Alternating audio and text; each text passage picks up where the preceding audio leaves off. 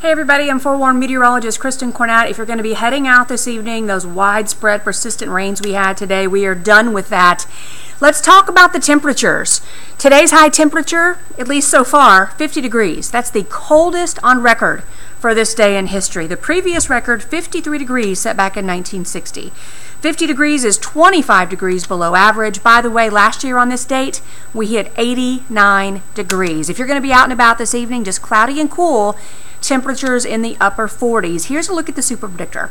While I can't rule out a very stray little light shower overnight, I think most of the area stays dry. As we move into tomorrow morning, maybe you're planning on taking mom to breakfast. Be a good morning for it. Well, it's going to be cloudy and cool, yeah, but at least it's not raining like it was this morning. It'll be dry. I think brunch with mom in pretty good shape too. Dry weather at lunchtime. At that point, we've got some rain developing back out over central Missouri as a cold front is heading our way. When does that rain move into our area? Well, check it out. By around mid afternoon, we've got spotty showers, perhaps a few rumbles of thunder, and that will continue to be possible on into the evening hours before coming to an end tomorrow evening.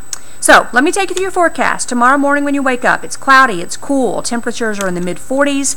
As we move through the day, at lunchtime, it's cool and dry, about 56 degrees. By 5 p.m., we're at 59, a few spotty showers and storms out there.